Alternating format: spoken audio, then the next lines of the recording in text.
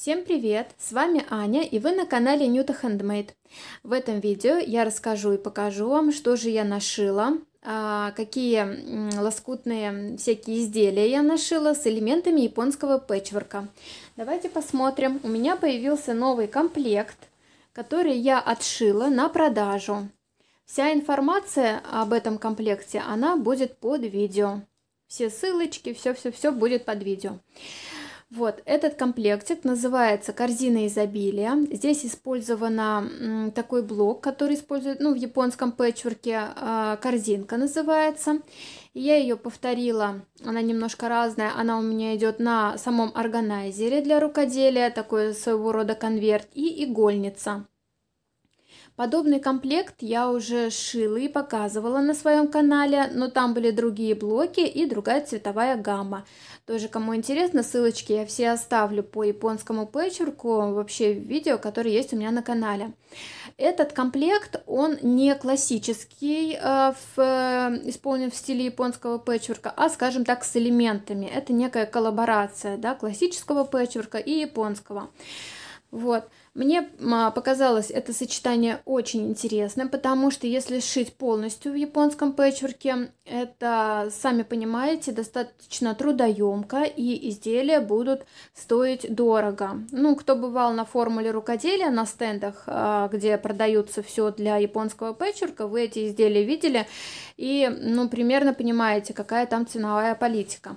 Поэтому у меня а, изделие с элементами именно японского пэтчворка, а именно это вот этот центральный блок, который используется в этом конверте, и на самой игольнице тоже вот эта центральная часть. Она полностью собрана, все лоскутики вручную, сшиты из японского фактурного хлопка и также э, с использованием ручной стежки. Ну, я вам скажу, даже сделав вот такие вот элементы, это, ну, посидишь, пошьешь. это не так-то просто выполнить и стежечку, и чтобы сами лоскутики все легли ровно, потому что вот этот блок, корзинка изобилия, она отличается тем, что здесь много острых углов. И здесь достаточно нужно внимательным быть при сшивании, чтобы все уголки были красивые, ровненькие. Вот. Ну, давайте посмотрим сначала конвертик что же на себя представляет? Конверт большой. Я вообще сейчас почему-то шью большие конверты. Ну, наверное, потому что у меня много вышивки, и э, это очень удобно, когда в одном конверте хранится два или три процесса. Наверное, поэтому. Хотя, в принципе, малышки шить тоже люблю. Давайте посмотрим, сколько у меня по размерам он получается. Он 34 на... Так, мне немножко неудобно будет мерить. Так, на 38. Ну, такой хороший размер, приличный. Он сшит именно по принципу конверта. А, на кнопочках клапан. Давайте откроем, посмотрим, что там внутри.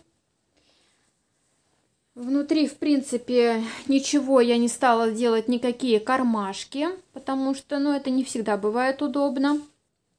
Просто классический конверт, скажем так. Внутри все чистенько, все обработано косыми беечками. Беечки все пришиты вплотную. Вот здесь, наверное, будет э, лучше видно и на самом клапане, и на боковом шве. Все пришито вплотную. В прошлый раз, когда я шила подобный комплект, я тоже об этом все рассказывала. И поставила вот такие вот две а, светленькие кнопочки. Они не белые, а такого слегка ну, не знаю, так, такой приглушенный, такой овсяный цвет, я бы сказала, цвет овсянки. Вот, а, что касается центрального блока, вот посмотрите, какие корзиночки красивые получились. Мне очень понравилась здесь цветовая гамма и самих вот этих вот элементиков, и э, сам, самих корзин, очень красиво, и вот этот цвет корзинок как бы дополняет уже вот эта вот э, ярко-красная ткань. Но она не такая яркая, на самом деле она цвет вишни. Вот.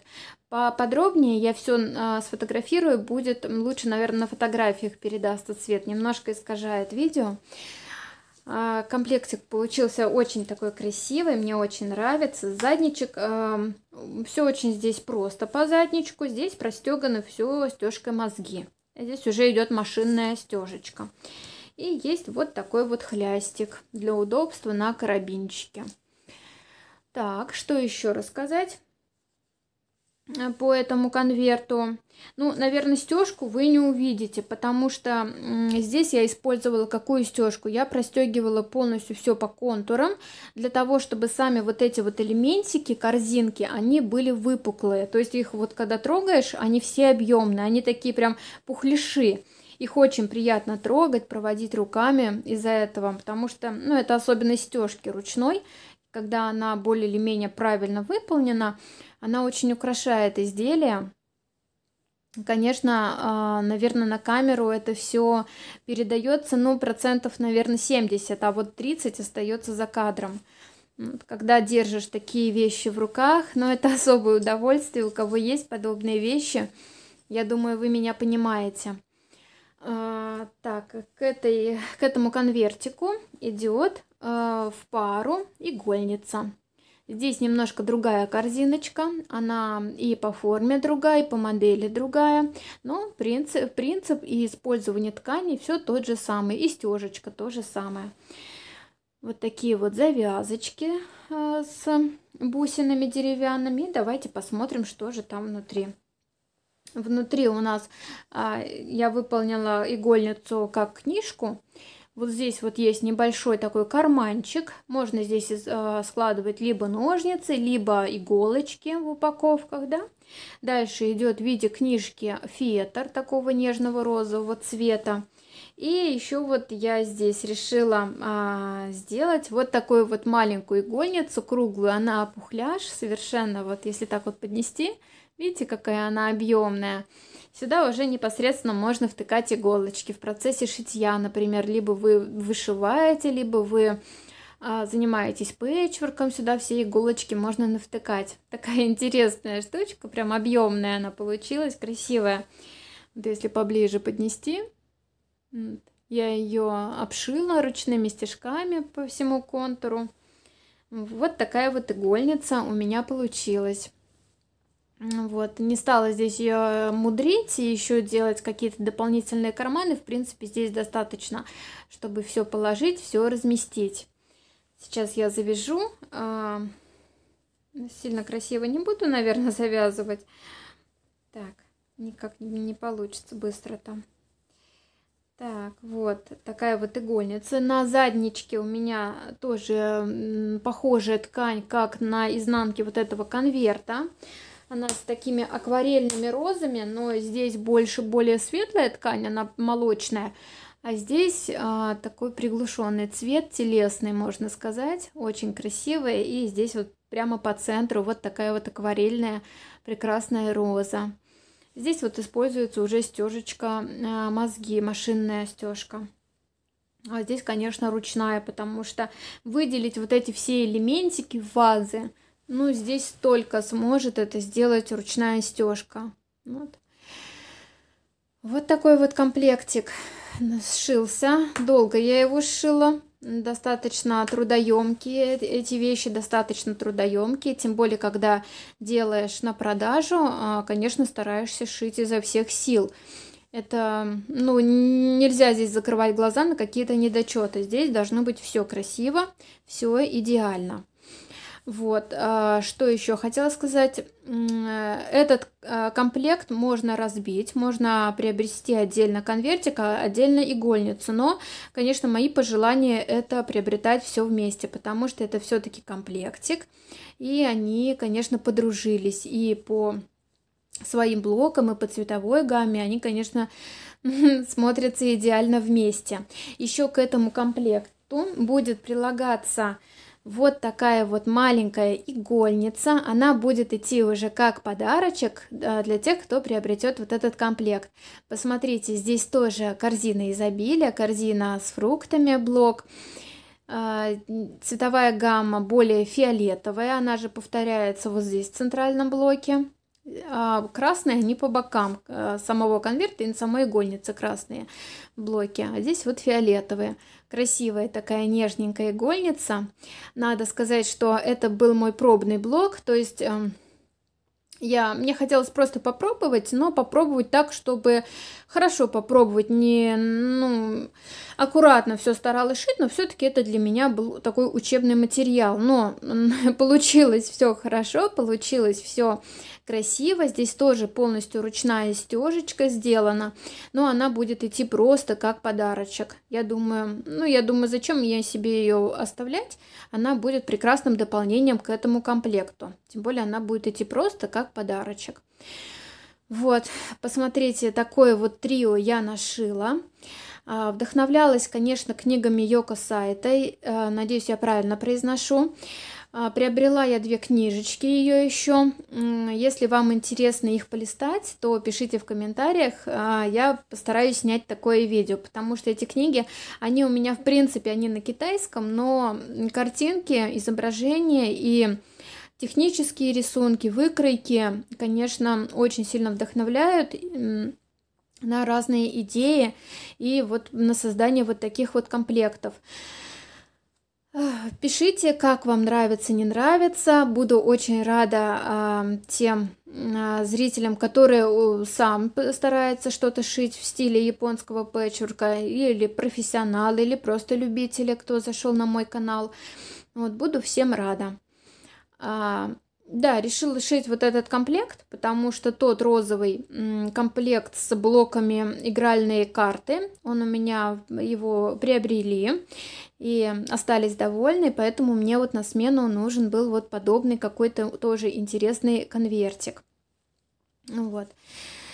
На этом, а, с этим конвертом, я думаю, все. И дальше я вам покажу, что я еще э, шила в стиле японского пэтчворка. Давайте посмотрим пока вот так вот отложу. Вот, в кадр оставлю игольницу. Я сшила, а, когда я выпускала МК на канале, а, на своем по сшиванию вот таких вот, вот блоков. Это оригами из ткани, квилтагами. И меня спрашивали, а что же можно сшить из таких блоков? Блоки, конечно, интересные, но куда их применить? Я решила шить для себя. А, тоже, ну, решила просто что-то шить чтобы показать, куда же можно их использовать. Получился у меня вот такой вот конвертик а, для своих процессов рукодельных, для вышивки. Буду здесь, скорее всего, э, хранить вышивку, либо у меня были еще здесь хранить лоскутики от а, фактурного хлопка японского, ну, так, такой вот не ликвид, да, ни туда, ни сюда, потому что эта вещица достаточно объемная.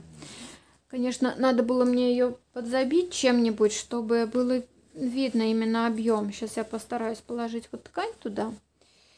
Она достаточно объемная получилась, эта вещица. Вот она.